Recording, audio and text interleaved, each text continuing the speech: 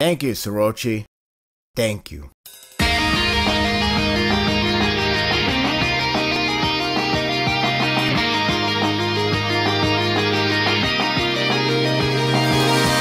It's been so long that we have waited for this moment. And that is Madao to return in his former glory. It was once stated by Sorachi that he will bloom before the series ends. It has reached to the final arc, and I wonder if it's one of the plot points that he may have forgotten or trolled about it. A long time ago, Madao was going places and it was all well until he got dragged in like a slave dog. The last chapter had him to step up and finally take his stand. This chapter not only lived up to Sorachi's promise, but Madao has finally bloomed, and it was all worth the wait.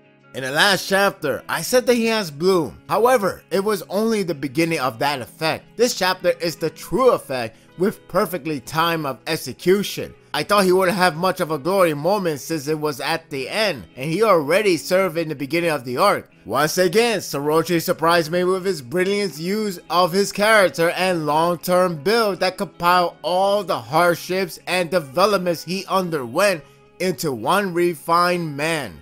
There is one small scene with Earth, and that's done to prepare us for the next chapter to fully focus on. It sets up for a possible explosive event with Sadaharu going ahead to pay the sacrifice, leaving Yorozuya to take care of him. It pretty much prepared for a long-waited reunion, and it should be a really sweet one. Anything could happen from that point forward, but that excitement will be saved for next time, because we have a man that is evolving to focus on. It's purely a Madao chapter, and rightfully so. I thought it was pretty heartwarming to begin with a flashback before he wears his old uniform. It took place around chapter 596 because that's when he returns as Hasegawa, the chief of the Bureau of Immigration, and it fits very well.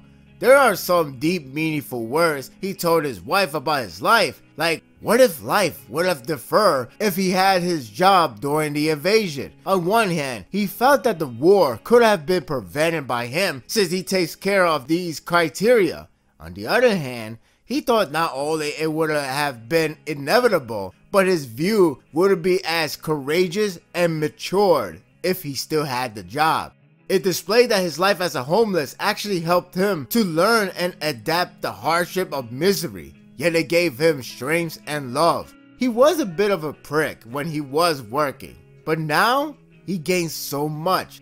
I thought it was effective to show the wife once, and it was when she was apologetic to him for not able to support him for his clear attempt to serve the war. Everything else is just something you can fill in from Madao's response. The point is, it was a moment of sincerity that his wife continues to show for him, no matter how low he sunk. I hope they are reunited by the end of the series. I love how it ended with Madao to not only reassure her that he will be fine, but he will return once the war is over.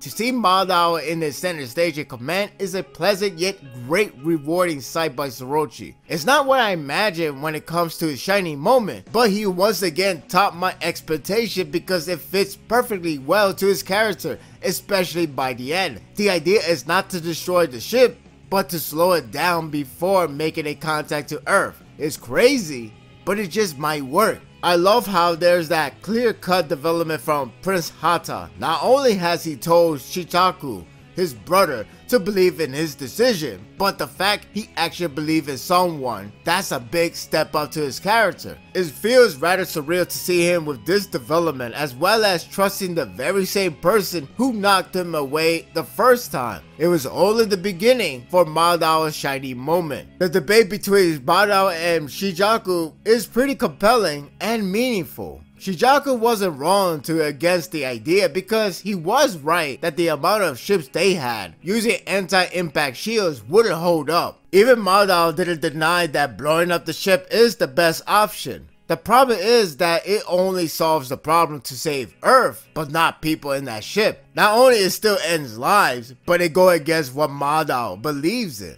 Equality.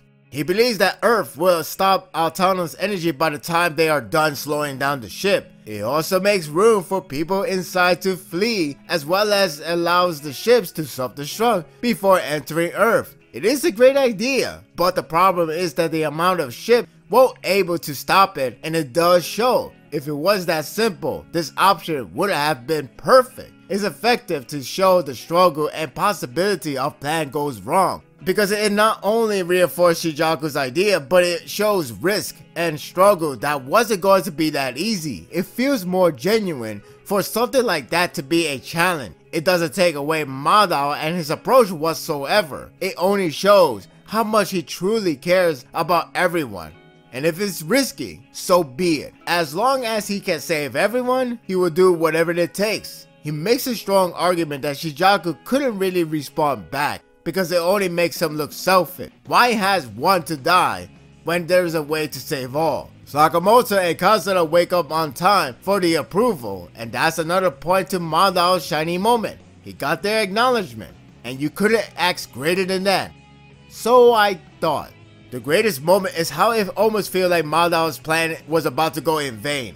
He needs much more anti-impact shields to make the plan work, but it could have been impossible if this was before all the recent developments. Thankfully, it finally pays off in the grand scheme because it has Liberation Army to join forces. I love the shot of every feed coming in like a horrible computer glitch in the system. Everyone has great praise to Earth as well as his plan. They also want to redeem themselves since they are dealing with Chief of the Bureau of Immigration, which is amazing because he's really not. It's brilliant to wait this long for Madao to shine because not only this is based on his former job, but it fits well to his character as a whole. The timing of all the recent development made it very convincing on how everyone will work together Welcome to Samurai Country is a simple yet highly effective line to complete the theme of the chapter.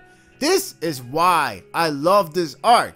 Every pieces lead to the next, and this one is no exception. Everyone plays their role, and everyone has their shine. Madao had to wait, but it was extraordinary. It is gratifying to see everyone believe and praise Madao something he was missing for a long time.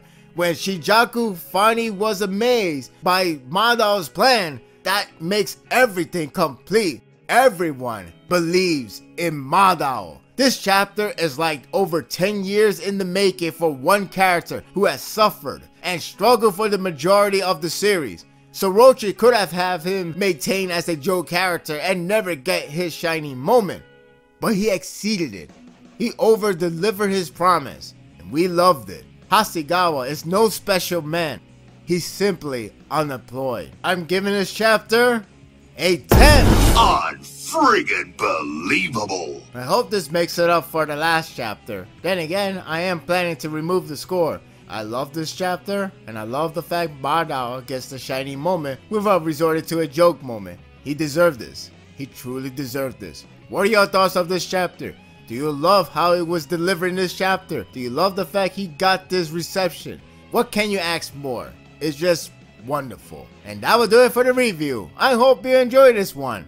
If you like this and want more of this, subscribe to my channel and my world will be yours to stay. Until next time, take care.